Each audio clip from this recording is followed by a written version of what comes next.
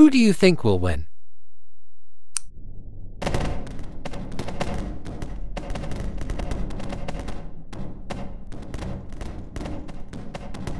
Looks like Melon's in first place.